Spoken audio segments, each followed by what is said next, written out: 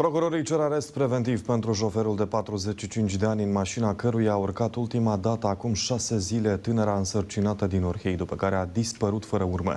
Instituțiile de forță continuă investigațiile și au venit cu primele versiuni. Între timp, polițiștii efectuează cercetări în satul bănuitului. Ultimele informații despre acest subiect ne le oferă Angelina Ungureanu. Angelina, bună seara, te ascultă!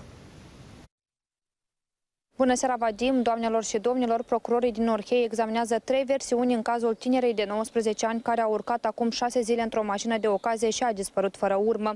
În primele două versiuni ar fi vorba de o crimă comisă de șoferul vehiculului, dar în care ar fi implicate și două grupuri diferite de persoane.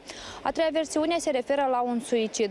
În prezent, șansele ca tânăra să fie în viață sunt mici, mai spun anchetatorii. Șoferul mașinii a fost audiat, dar încearcă să-i ducă în eroare pe oamenii legii. Procur Procurorii au înaintat astăzi demersul prin care cer 30 de zile de arest în penitenciar pentru bărbatul de 45 de ani. Ședința de judecată va avea loc mâine. Pe parcursul zilei de astăzi se fac cercetări în satul Chițcanii Vechi din raionul Telenești, de unde este bănuitul. Totodată, polițiștii și experții analizează imaginile camerelor de supraveghere în încercarea de a afla ce s-a întâmplat cu tânăra.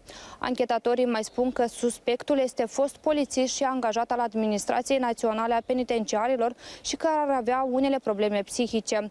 Precizăm că tânăra de 19 ani, însărcinată în aproape 6 luni, e de negăsit de 6 zile. Ultima dată a fost observată în timp ce urca într-o mașină de ocazie. După patru zile, oamenii legii l-au reținut pe șoferul automobilului, însă acesta a refuzat să colaboreze cu ei. În toate aceste zile, zeci de polițiști și voluntari s-au mobilizat și au căutat-o pe fată în toată zona Orheiului. Din nefericire, fără rezultat deocamdată. Ana Maria are un metru și 65 de centimetri înălțime, păr caștaniu și ochi căprui. În ziua dispariției purta pantaloni negri, tricou alb și o bluză neagră.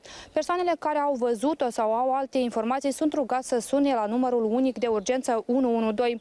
Mai multe informații despre anchetă aflați din declarațiile procurorului de caz pornit urmărire penală în cauză penală, în comiterea, adică săvârșirea unei bănuiri rezonabile, săvârșirea unei infracțiuni plus de articolul 64, adică răpirea unei persoane de către, de către mai multe persoane. A fost reținut o persoană bănuită în cadrul uh, cauzei penale respective. Noi considerăm că ne duce în eroare, deoarece declarațiile sale contravin cu rezultatele măsurii speciale de investigație și cu declarațiile altor martori. La declarația lui că a coborât de mașină, dar noi, adică organ de mărire penală, avem suspiciunea că nu a coborât de mașină, dar a fost deplasare în continuu. Concomitent lucrăm pe toate trei versiuni.